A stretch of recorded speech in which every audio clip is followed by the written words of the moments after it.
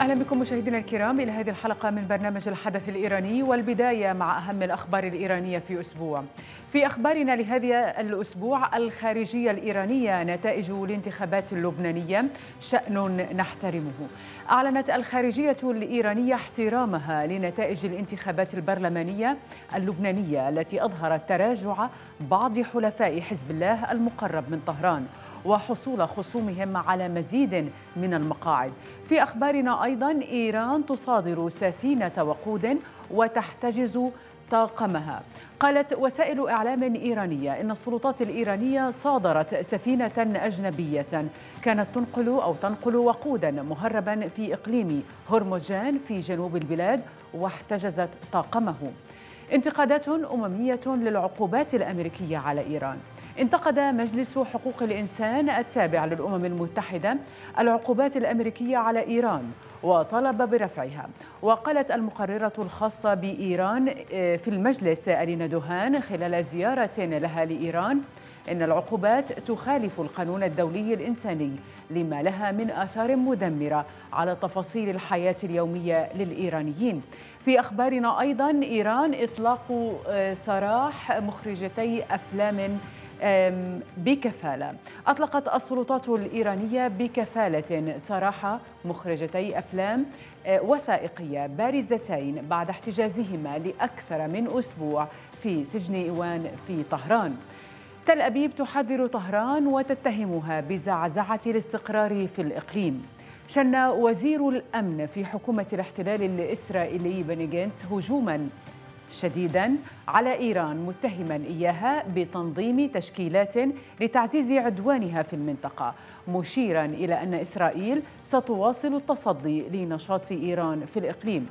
نتوقف بالتحليل والتعليق عند احتجاجات اجتماعية ضد ارتفاع الأسعار حيث خرجت في العديد من المدن الإيرانية في الأيام الماضية مظاهرات شارك فيها المئات احتجاجا على ارتفاع أسعار بعض السلع الغذائية ونقص بعضها الآخر في الأسواق. وتداول نشطاء على شبكة التواصل الاجتماعي مقاطع مصورة قالوا إنها لمظاهرات خرجت في مدن إيرانية خاصة في مدن جنوب البلاد. وأكدت مواقع صحفية مقربة من المعارضة الإيرانية مقتل أحد المشاركين في الاحتجاجات واعتقال العشرات منهم. وأقر الإعلام الرسمي بحدوث الاحتجاجات لكنه لم يشر إلى سقوط ضحايا.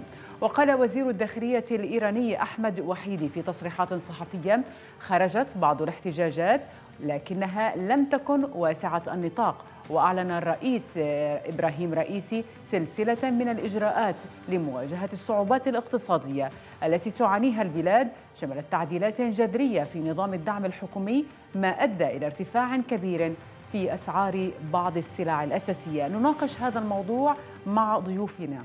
ابقوا معنا.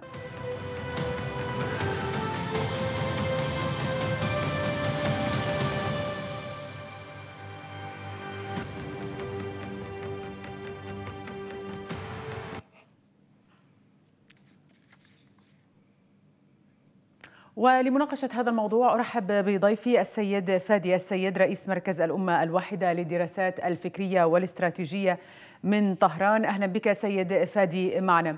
بداية يعني أول احتجاجات في عهد الرئيس إبراهيم رئيسي. هل الأزمة الاقتصادية على ما يبدو هي المحرك الأساسي لهذه الاحتجاجات؟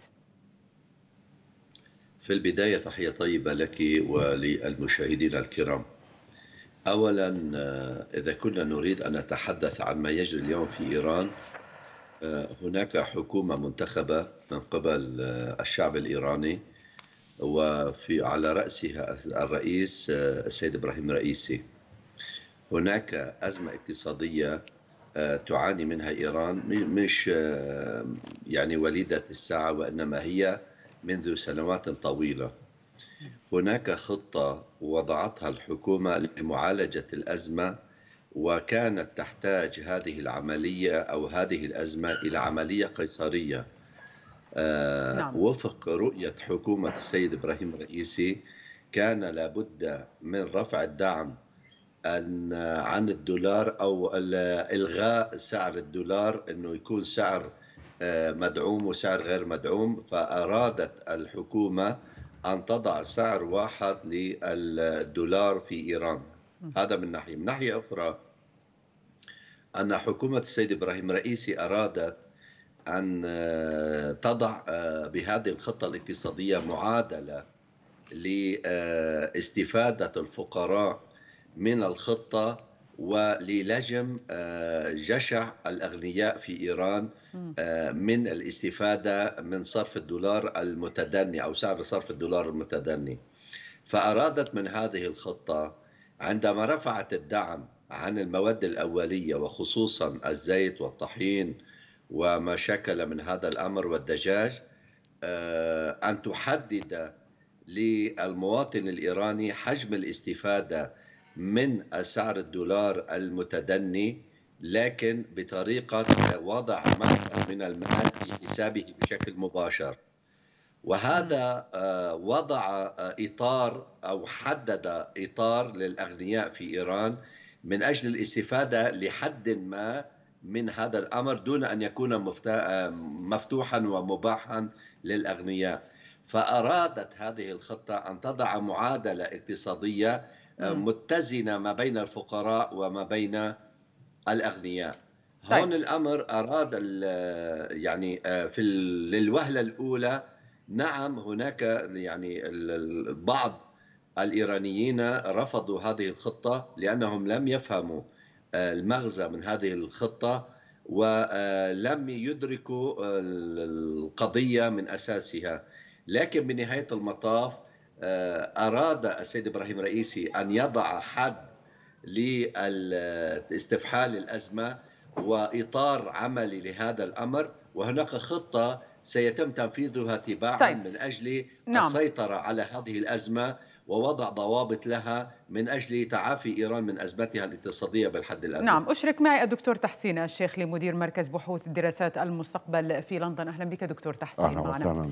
يعني لابد أنك تابعت موضوع الاحتجاجات في طهران. ما مدى حقيقة قوة هذه الاحتجاجات في ظل تضارب التصريحات حول حجمها؟ شكرا جزيلا. تحياتي لك ولضيفك الكريم من طهران ولكل مشاهديكم. الاحتجاجات ليست بنت اليوم هي حقيقة.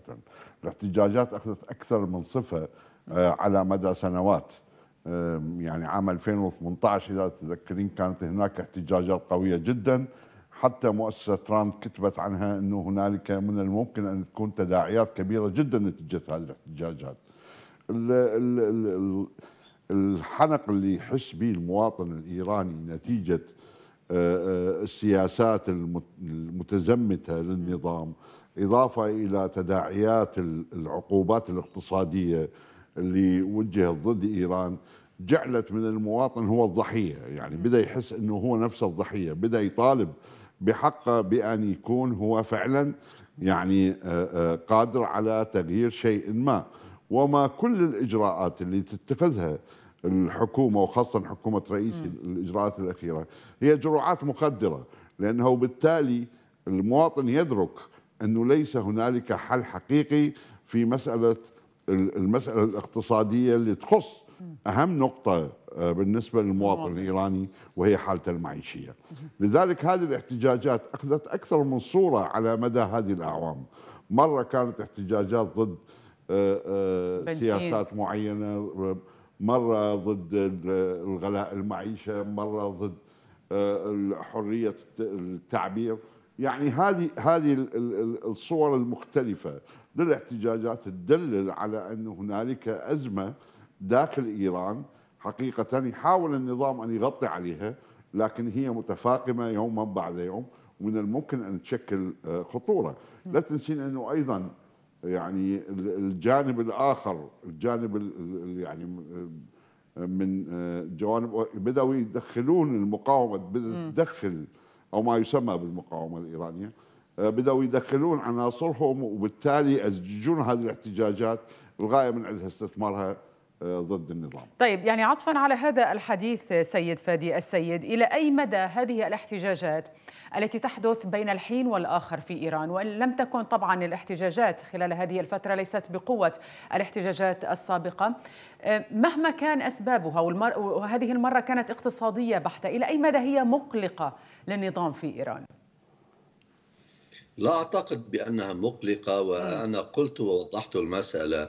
بأن خروج الناس آه، و يعني حجم التظاهرات لم يكن آه، يعني حجما آه، كبيرا جدا وإنما هناك البعض خرج للتعبير عن رأيه وهذا يؤكد بأن في إيران هناك تعبير عن الرأي وليس هناك عدم تعبير عن الرأي. ثانيا النقطة الثانية أن هذه التظاهرات قلت بأن الخطة الاقتصادية التي وضعتها الحكومة موضع التنفيذ وبهذه الطريقة هي أرادت أن تجري عملية قيصرية للسيطرة على الأزمة الاقتصادية ووضع حل حل جذري لهذه الأزمة من أجل آه، ترميم الوضع الاقتصادي وخاصة أن الخطة التي تحدث عنها إبراهيم الرئيسي خلال آه، ترشحه للانتخابات أراد اليوم أن ينفذها من أجل أن يكون هناك معادلة ما بين الأغنياء وما بين الفقراء ورفع من مستوى معيشة الفقراء. طيب وهذا طيب الأمر في موضوع الخطة الاقتصادية. اسمح لي سيد فادي يعني في مو... أحكيها. إيه، سأعود لك يعني. في موضوع الخطة الخطة الاقتصادية التي تتحدث عنها. شملت يعني تحرير آه، بعض آه، الأسعار رفع الدعم عن المنتجات الأولية بالنسبة للمواطن الإيراني آه، العادي أو البسيط.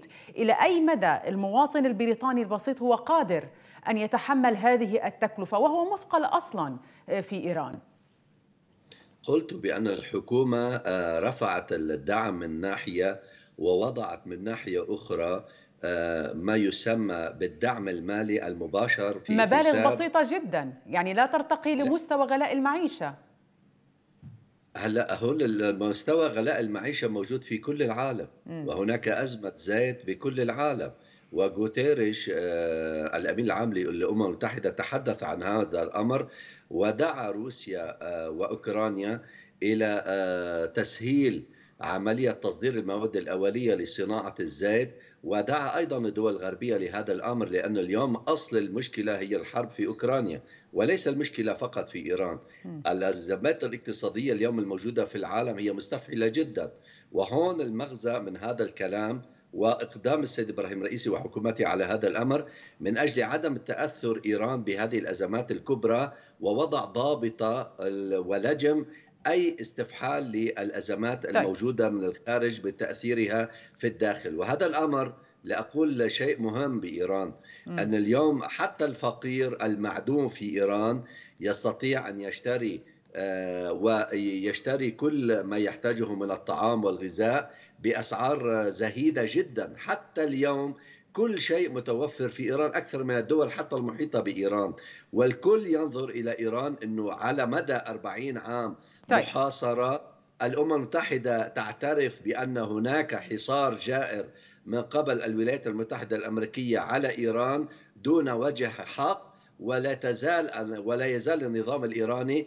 يعمل على تدبير أموره ومعالجة أزماته طيب. اعتمادا على كفاءته وعلى الكوادر الموجودة في إيران وهذا إنجاز بالنسبة إلى إيران طيب. دك... ووقوفها وصمودها في وجه كل طيب. هذه دعني أنتقل للدكتور تحسين كل المعيش المواد المعيشية للمواطن الإيراني هذا بالحد الادنى هو إنجاز لإيران طيب دكتور تحسين يعني إلى أي مدى هو المواطن البريطاني الذي خرج في هذه الاحتجاجات وإن كانت قليلة ولكن في مناطق متفرقة هو قادر أن يتحمل هذه الأعباء. عندما تتحدث عن تحرير أو رفع الدعم الحكومي عن بعض المواد الأولية الألبان الأجبان آه، اللحوم آه، أيضا وهو مثقل أيضا. في المقابل تتحدث ما تحدث السيد فادي عن دعم مادي ولكن هذا الدعم المادي لا يرتقي لمستوى الغلاء. يعني آه، المعروف عن الداخل الإيراني أنه الحرس الثوري الإيراني هو مسيطر على كل مقدرات البلاد ومن ضمنها المسألة الاقتصادية. يعني هذه شيء معروف. إبراهيم رئيسي يدرك أنه الحرس الثوري هو المسؤول الأول عن إمكانية حل هذه الأزمة تجاه المواطن. وحتى الاحتجاجات كانت موجهة آه، آه، آه، تحديدا تجاه هذا الفصيل. الأزمة في يعني محاولات حل الأزمة وحلحلتها داخل إيران هي تجي من خلال إجراءات اقتصادية يا أما تغيير التسعيرة يا أما دعم آه، آه، شكلي للمواد لأسعار المواد يا أما تحديدها ضمن آه، سلة غذائية ممكن تدعمها الحكومة وتقدمها للمواطن. لكن بالتالي تبقى كل هذه الإجراءات كل هذه الإجراءات هل هي سياسة استراتيجية اقتصادية داخل إيران أم هي فقط لامتصاص غضب الشعب والنقمة اللي تولدت نتيجة هذا الموضوع؟ هذه هي النقطة المهمة اللي يجب أن نقف عندها. الموضوع ليس موضوع فقط احتجاجات وإنما سياسات الدولة نفسها تجاه مواطنيها هي اللي أدت إلى هذه الاحتجاجات.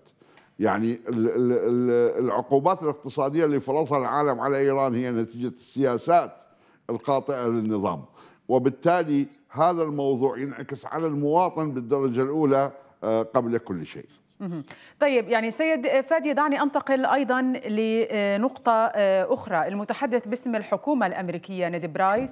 على تويتر سارع مباشرة لمباركة جهود المحتجين الإيرانيين فيما بدأ بأنه تشجيعا لهم. ما دفع السيد خطيب زادة للرد عليه. كيف تنظر للموقف الأمريكي؟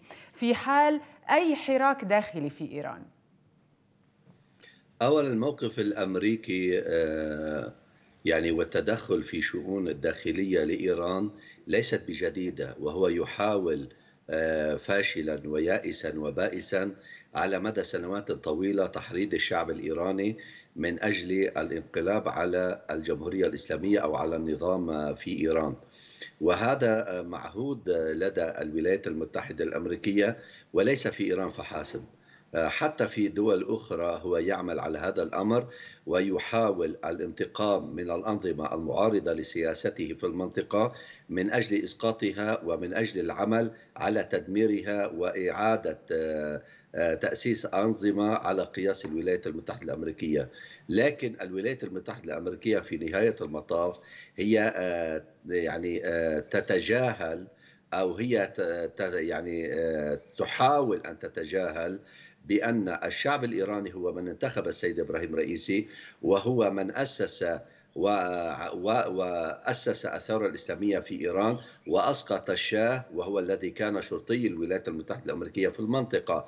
يعني اليوم الشعب الإيراني بالدرجة الأولى بغض النظر إذا كانت السياسة الحكومة هي تصب في صالح الشعب الإيراني أو لا لكن بنهاية المطاف الشعب الإيراني يدرك مستوى الخطورة نعم. التي تأتي من الولايات المتحدة الأمريكية والشعب الإيراني إلى الآن لا يزال يعيش آه، يعني أزمات اقتصادية بفعل الحصار الأمريكي على الشعب الإيراني وهذا يدركه الشعب الإيراني.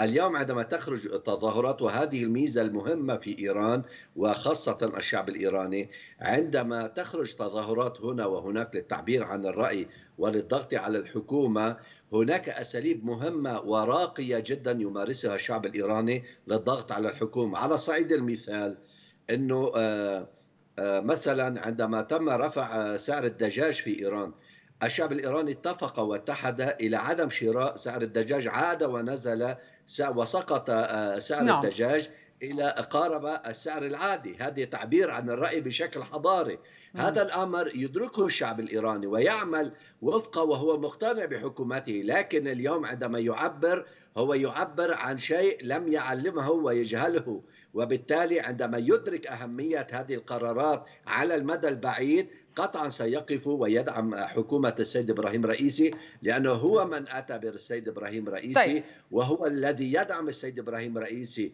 وعندما يكون هناك أزمات نعم. من الخارج وصلت الفكرة سيد الولايات المتحدة الأمريكية سنرى الشعب الإيراني يخرج ويندد بالسياسات ويرفض سياسة الأمريكية لا بشكل طيب. كبير جدا. أرجو أن تتفضل بالبقاء معنا سيد فادي السيد والدكتور تحسين الشيخ لنناقش بعض الفاصل. الأردن يحذر من سيطرة طهران وحلفائها على جنوب سوريا.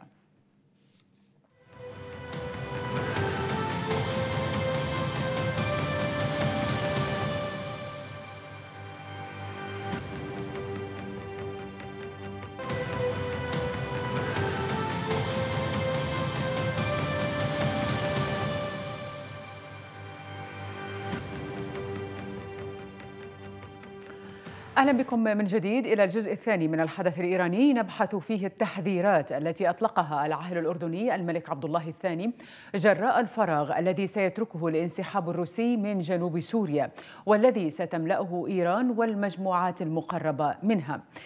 إذا حذر العاهل الأردني الملك عبد الله الثاني من التداعيات الأمنية على حدود بلاده مع سوريا. إذا انسحبت القوات الروسية من مواقعها في جنوب سوريا. وقال في تصريحات صحفية خلال زيارته للولايات المتحدة إن إيران وحلفائها سيملؤون الفراغ الذي سيتركه انسحاب القوات الروسية في جنوب سوريا والتي كانت تشكل مصدرا للتهدئة. المزيد في سياق التقرير للزميل عدنان حميدان.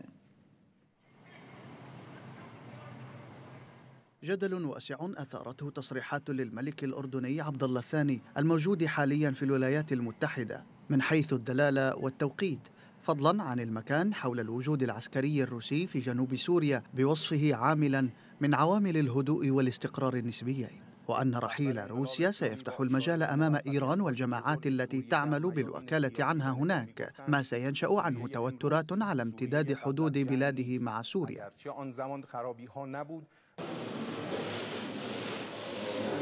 كذلك أوضح أن هناك تنسيقا عربيا لإيجاد حلول لمشاكل المنطقة دون الاعتماد على أمريكا لحلها. تأتي هذه التصريحات للملك الأردني بعد عدة اجتماعات ولقاءات على مستوى قادة دول الجوار بما فيها إسرائيل. يرى البعض فيها سعيا لتشكيل تحالف بينهم تحت فزاعة الخطر الإيراني.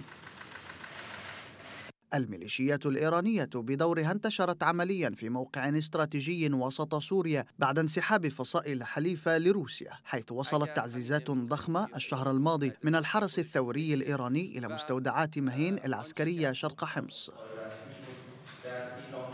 ميدانيا لم يسجل حتى الآن أي صدام في العلاقات بين إيران والأردن. وبالتالي يرى مراقبون أن الحديث عن احتمال نشوب أي توتر في المناطق الحدودية الأردنية المتاخمة لسوريا لا سيما مع القوات الإيرانية نابع من الإملاءات الخارجية وليس الحقائق الميدانية. بيد أن الحقائق الميدانية من حيث الحشد والتمركز لا تكذب تلك الإملاءات ولا تناقضها في النهاية نبقى ندور في حلقة مفرغة حيث تخرج أمريكا فتأتي روسيا وتنشغل روسيا فتملأ الفراغ إيران.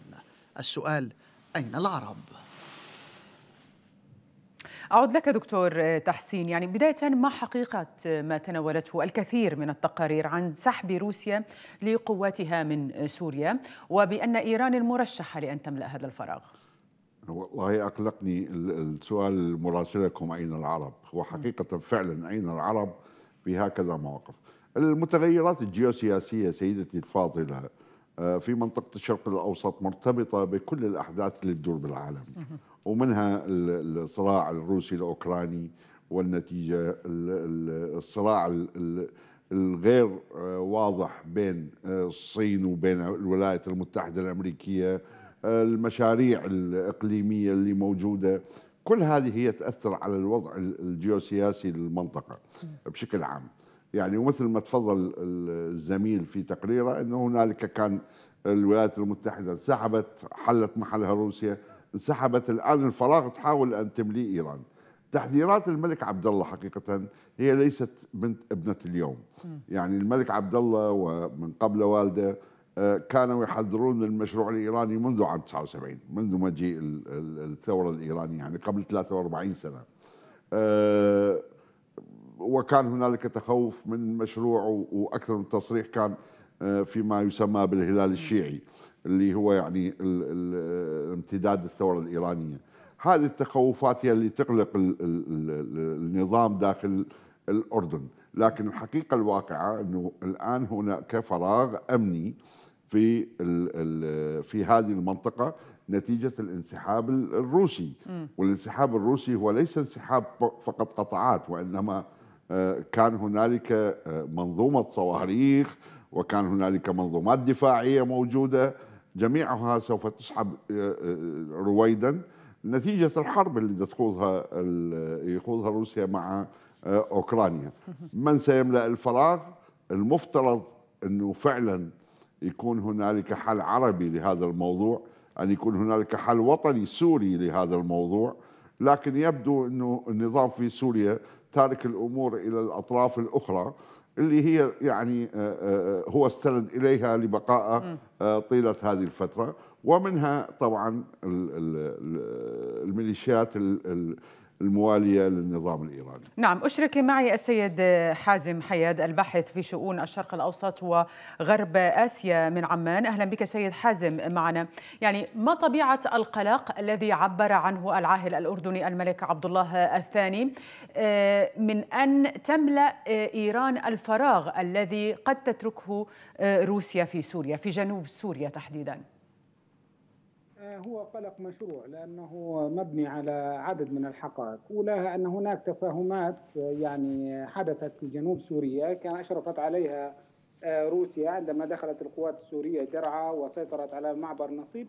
هذه كانت ضمن تفاهمات واتفاقات وضمن غرفة عمليات مشتركة ويعني آه، وطاولة واحدة جلسوا عليها الأمريكان والأردنيون والسوريون والروس إلى جانب إنه كان في تواصل مع الكيان الإسرائيلي للوصول إلى آه، حل وتهدئة في الجنوب السوري وتمت التهدئة على حساب قوات المعارضة السورية التي تم دمجها ببعض القوات العمليات الخاصة الروسية في جنوب سوريا وأشرفت عليها القوات الروسية. وكان هناك في موازاة ذلك مطالب أردنية بإبعاد القوات والميليشيا التابعة للحرس الثوري آه، يعني شمالا بعيدا عن منطقة آه، درعا والمعبر جابر أو نصيب من الجهة السورية. في المقابل الكيان الإسرائيلي طالب بإبعاد القوات الإيرانية عن منطقة القنيطرة والجولان المحتل. هذه التفاهمات يعني آه، لم تطبق بالكامل وبشكل مثالي لكنها كانت موجودة والكثير من المعارضة السورية المسلحة التي يعني أوقفت الأردن دعمها لها تحولت وأصبحت جزء من القوات أو ما يسمى الفرقة أعتقد الخامسة التابعة ليست الفرقة الخامسة الفيلق الخامس التابع لروسيا، الآن إذا انسحبت روسيا. هؤلاء بدون ظهير يعني بدون إشراف روسي سيتفكك هذا المجموعات التي كانت تتبع للمعارضة لن يعود لها مظلة روسية وبالتالي ستجد نفسها وحيدة وستتفكك يعني. اثنين ستدخل القوات الإيرانية لأن التفاهمات انتهت وروسيا غير معنية الآن إنها ترضي الغرب أو ترضي أمريكا، أمريكا يعني تجاوزت كل الحدود في أوكرانيا وروسيا غير معنية بأنها تحقق أي هدوء في أي ساحة أو اي جبهة من الجبهات من يعني مالي إلى آه، يعني دعني أقول إلى أفغانستان و آه، يعني حتى آه، بورما يعني. فروسيا غير معنيه والدليل على ذلك أن في مالي هناك خلاف شديد الآن فرنسي أمريكي طيب. في مالي خلاف شديد. الآن هناك مخاوف أن تنتقل هذه الأزمة إلى الحدود الأردنية وخصوصا أن اليوم مثلا على سبيل المثال الأردن آه، يعني تمكن من آه، يعني اشتبك مع مجموعة مسلحة كانت تحاول آه، عبور الحدود الأردنية تحمل بجعبتها مخدرات. وهذه ليست المرة الأولى لكن العمليات تكثفت خلال الشهرين الماضيات وخصوصا ما بعد الحرب الأوكرانية. بل استخدمت آه، تقنيات حديثة يعني الدرونز الأردن تحدث يعني يعني هل مخاوف الأردن مخاوف الأردن سيد حازم يعني كما تتحدث هي مخاوف من انفلات أمني توتر أمني فقط على الحدود؟ توتر أمني وانهيار للاتفاقات والتفاهمات. انتهت. يعني بمجرد وقوع حرب أوكرانيا انتهت التفاهمات. والدليل طيب. أن روسيا فعلت منظومة إس 300 في في منطقة طرطوس واللاذقية وبانياس وبالتالي اقتراب الحرس الثوري من الحدود الأردنية بات امرا محتوما. يعني هو موجود موجود عبر تشكيلة الفرقة الرابعة ضمنها يعني طيب.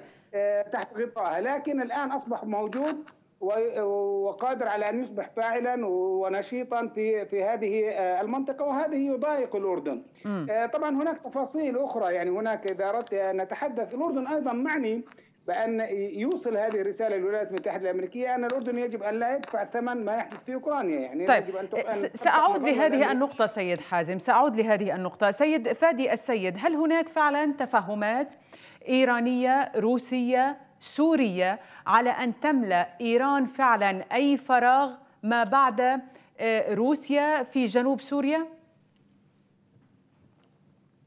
لأنه اليوم أصل وجود الإيراني في سوريا على صعيد مستشارين وهذا لمئات المرات صرحت عنه الجمهورية الإسلامية في إيران على لسان وزارة الخارجية واليوم عندما يكون هناك آه، كلام من قبل ملك الأردن من الولايات المتحدة الأمريكية أصبحت الأمور واضحة وضوح الشمس بأن هناك غاية وهدف من آه، إثارة آه، موضوع التواجد الإيراني في في سوريا من أجل الضغط على الجمهورية الإسلامية بملفات أخرى وخصوصا اليوم التقارب السعودي الإيراني الذي سيكون اجتماع قريب في العراق وأيضا على صعيد وزراء خارجية وكذلك الأمر بالنسبة إلى الملف النووي الإيراني الذي أصبح قاب قوسين وأدنى من إعلان انتهائه والتوصل إلى تفاهمات بهذا الشأن.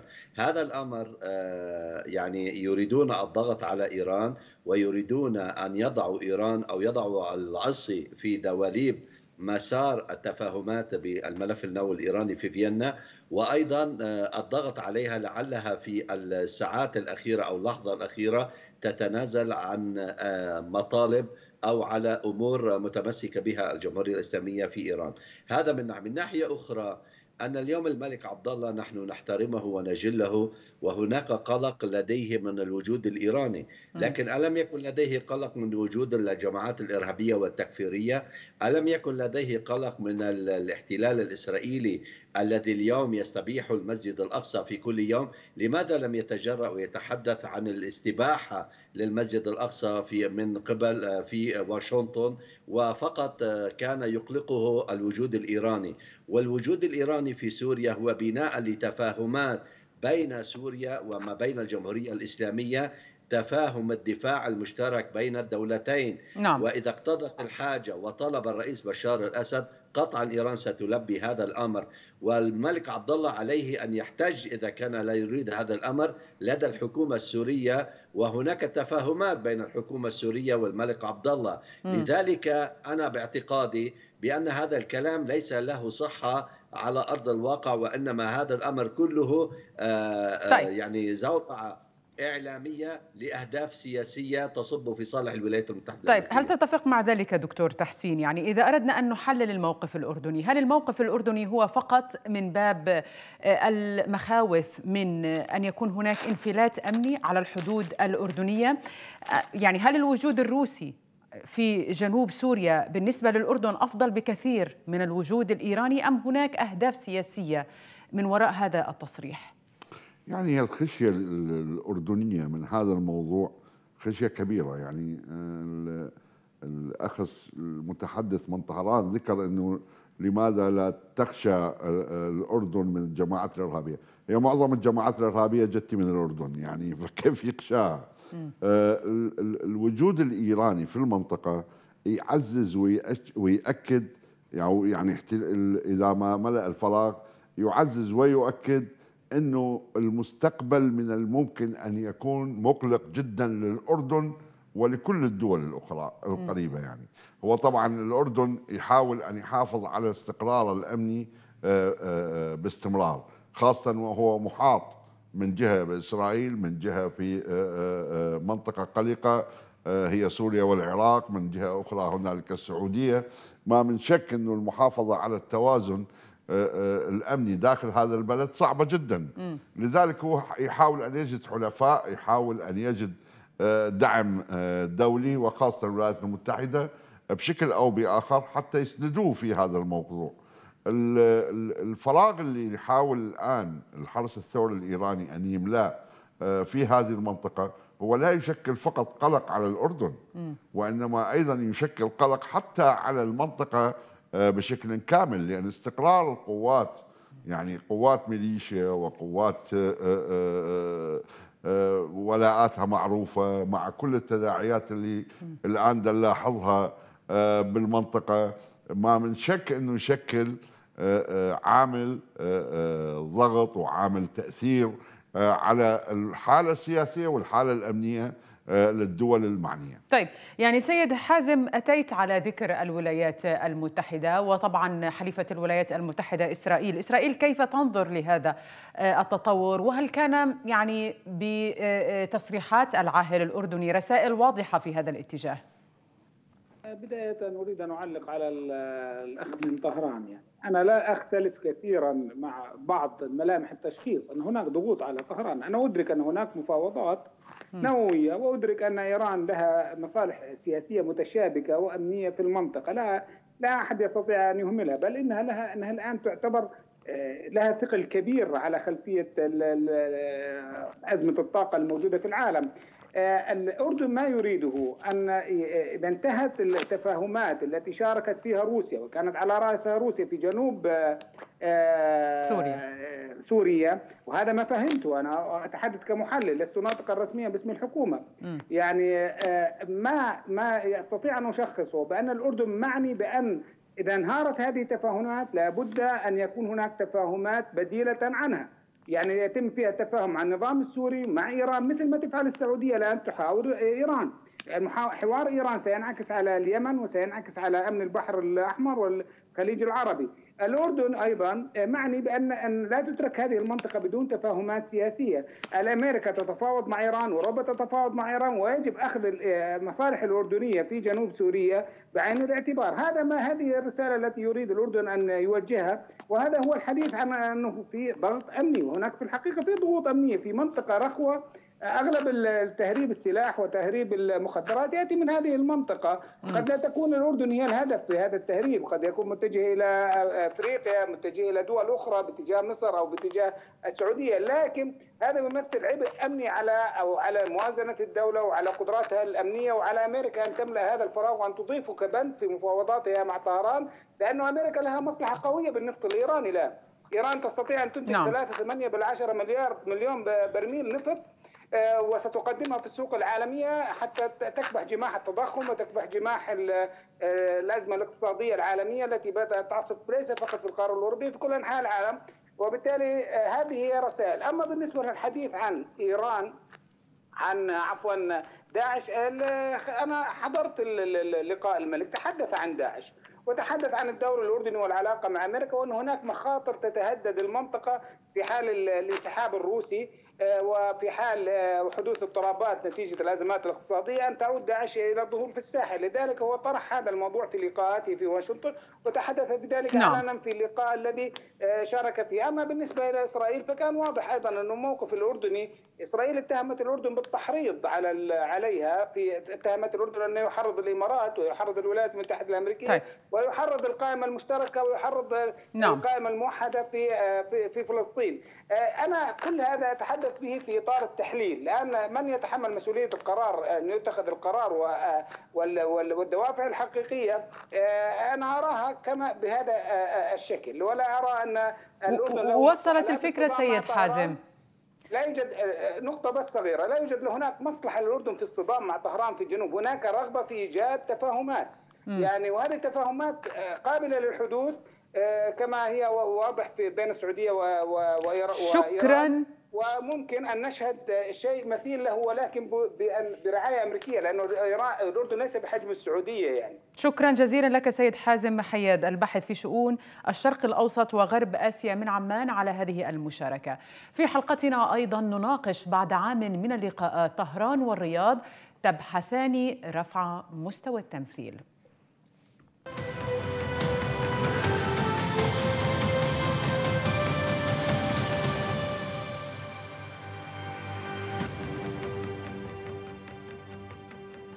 إذا لقاءات متواصلة بين إيران والسعودية في العاصمة العراقية بغداد وتضارب الأنباء حول لقاء مرتقب بين وزيري خارجية البلدين في خطوة هي الأولى منذ توتر العلاقات الثنائية عام 2016 وكشفت وكالة أنباء فارس الإيرانية قبل أيام عن لقاء مرتقب بين وزيري خارجية كل من السعودية وإيران في بغداد. ونقلت الوكالة عن عضو مجلس الشورى الإيراني جواد كريمي قدوسي قوله إنه تم التوصل إلى اتفاقات أولية بين طهران والرياض لكن نفى المتحدث باسم الخارجية الإيرانية سعيد خطيب زادة وجود موعد للقاء للقاء قريب بين وزيري خارجية البلدين لكنه أشار إلى أن المباحثات الأخيرة والتي عقدت في بغداد في شهر أبريل الماضي تناولت طريقة استمرار الحوار ورفع مستوى التمثيل في الجولة المقبلة. يعني سيد فادي آه، السيد هل من المتوقع أن يكون هناك لقاء قريب بين وزيري خارجية البلدين في ظل هذا التضارب في الأنباء؟ أتوقع بأي لحظة يكون هناك تقارب سعودي إيراني لأن اليوم المصلحة العليا للسعودية ولإيران هي التفاهم والتقارب وتصب في صالح التهدئة في المنطقة.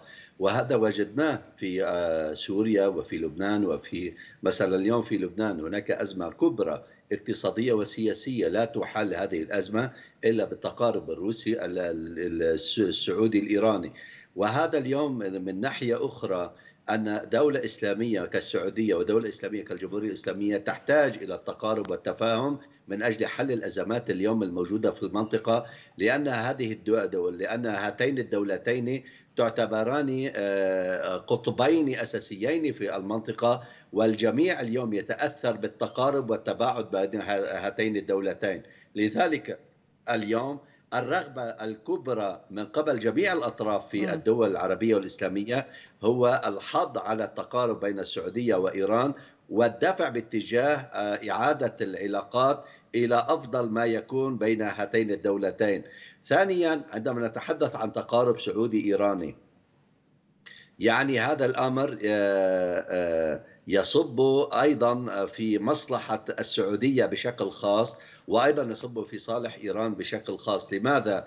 لأن اليوم التقارب بين الشعبين الإيراني والسعودي كذلك الأمر سيريح المنطقة بشكل كبير وسيعطي للمنطقة دفع من أجل القضاء على الإرهاب نعم. الذي يداهم الجمهورية الإسلامية وأيضا السعودية ووجدنا اليوم الحكومة السعودية تحارب الإرهاب بقوة والعقلية المتطرفة الموجودة في السعودية وغير السعودية وهذا م. الأمر مرحب فيه في الجمهورية الإسلامية في إيران وهذا الأمر أيضا يصب في مصالح الاستراتيجية لإيران كما يصب أيضا في مصالح معالجة محاربة الإرهاب في إيران آه، تجاه الجماعات التكفيرية في المنطقة أيضا يصب في صالح طيب. الأمن القومي السعودي وهذا الأمر يعني أن اليوم المنطقة تحتاج إلى أقطاب كالسعودية وكإيران ويجب عليها الدول العربية والإسلامية أن تتخلى عن عقلية الضمانه لروسيا أو لأمريكا أو لأي دولة أخرى طيب. خارج الإطار العربي والإسلامي وتؤمن وتكون هناك اتفاقيات وتفاهمات أمنية وسياسية واستراتيجية بين هذه الدول طيب دعني انتقل للدكتور تحسين. بعيدا كل البعد عن الإملاءات الأخرى. طيب دكتور تحسين هل يبدو واضحا أن هناك رغبة مشتركة واضحة هذه المرة من قبل السعودية وإيران بحلحلة العلاقة فيما بينهما؟ آه يعني اللقاءات هذه بالحقيقة هي لا تأتي لم تأتي من فراغ. يعني آه الصراع الإيراني السعودي آه, مباشر. باليمن. واستخدمت فيه أسلحة آه، هددت الاقتصاد السعودي. يعني أكثر من مرة الطائرات الدرونز والصواريخ قصفت آه، حقول النفط قصفت منشآت اقتصادية أخرى داخل السعودية. لذلك السعودية بدأت تشعر بأن الخطر وصل إلى قريب منها. فتحاول أن تجد المنافذ من خلال هذا هذه التفاهمات اللي طبعا آه، آه، آه، تمت بمباركة من كل دول الخليج وليس فقط من السعودية. يعني هنالك مباركة أيضا ضمنية من دول الخليج. التفاهمات أكيد ما من شك هي عباره يعني أي أي يعني حوار من هالنوع هذا يرتكز بالأساس على نسبة التنازلات من كل طرف من الأطراف. إيران تحاول أن آه، آه، تحجم الدور على أقل تقدير السعودي، السعودية تحاول أن تحجم الدور الإيراني بالمنطقة. الضغوطات اللي شفناها السعودية في في لبنان مثلا على أقل تقدير بأزمة وزير الإعلام وغيرها تدلل على انه هنالك ضغوطات على الأذرع أو المناطق الهشة آه، للنظام الإيراني من خلال آه، مواليها وأيضا آه، دعمها لكثير من الحركات داخل العراق اللي كانت تقلق أيضا الوضع الإيراني. الآن حقيقه هذا المرحلة هذه المرحلة بالذات المرحلة الأخيرة من التفاوضات واللي أتصور راح تتكلل بلقاء الوزيرين سوف تكون مهمة جدا. لأنه بالتالي سوف تنهي على أقل تقدير الصورة الخارجية لهذا الصراع اللي موجود. لكن ماذا من تدا... ماذا يترتب عليه من تداعيات مستقبلية؟ أنا أتصور النتائج سوف تكون في اليمن وليس في منطقة أخرى. يعني في هذه النقطة تحديدا عطفا على هذا الحديث آه، سيد فادي السيد. يعني هل نتحدث عن حلحلة للأمور فقط في إطار الصورة الخارجية؟ يعني بمعنى أن أسباب الصراع قائمة وسيكون لها تداعيات في المستقبل؟ اولا إذا كنا نريد أن نتحدث عن أساس الصراع آه، هناك معضلة أساسية آه، على مدى عشر سنوات عانت منها الأمة. حاول آه، حاولت الولايات المتحدة الأمريكية بضغط منها مع حلفائها أو أدواتها في المنطقة تحويل الصراع العربي الإسلامي مع الاحتلال الإسرائيلي إلى عربي فارسي. وهذا وجدناه بالتصريحات الإعلامية على مدى سنوات طويلة أن الغزو الفارسي وما شكل من هذا الأمر ووجدنا بأن الاتهامات لإيران ما أنزل بها بن سلطان بأنها تدعم الحوثيين في اليمن وما شكل من هذا الأمر. وبالوقت نفسه نجد أن هناك كان حصار جوي وبري وبحري خانق على الشعب الإيراني على الشعب اليمني. فكيف كانت إيران ستستطيع أن تدعم الشعب اليمني بالسلاح والعتاد؟ وهناك حصار مطبق على الشعب اليمني. اليوم أصل المشكلة هو العداء لمن؟ هل العداء هو سيبقى للاحتلال الإسرائيلي كجسم غريب في المنطقة أم هو سيبقى الدول العربية وخاصة أن المقصود هون دول مجلس التعاون ستبقى تتعامل مع الجمهورية الإسلامية بأنها هي العدو الأول والاحتلال الإسرائيلي هو الصديق الأول لدول مجلس التعاون ووجدنا الترجمة على أرض الواقع تطبيع بعض الدول نعم. مع الاحتلال الإسرائيلي وإعلان عداء للجمهورية الإسلامية اليوم السعودية أصبحت مقتنعة تمام الاقتناع بأن اليوم التقارب مع إيران أفضل بكثير من التقارب مع الاحتلال الإسرائيلي بعدما وجدت بأن الدول المطبعة مع هذا الكيان لم تؤتي بشيء ولم تحصل على أي شيء من قبل الاحتلال الإسرائيلي وإنما كل ما تم التطبيع من أجله هو كان يصب في صالح الاحتلال الإسرائيلي على حساب هذه الدول وشعوب المنطقة شكرا. وعلى حساب على هذه الدول. شكرا جزيلا لك سيد فادي السيد رئيس مركز الأمة الواحدة للدراسات الفكرية والاستراتيجية من طهران. أشكر ضيفي أيضا الدكتور تحسين الشيخلي مدير مركز بحوث دراسات المستقبل في لندن على هذه المشاركة. كالعادة يمكنكم متابعة البث المباشر لقناة الحوار على اليوتيوب والتواصل معنا عبر منصاتنا على وسائل التواصل الاجتماعي. إلى اللقاء.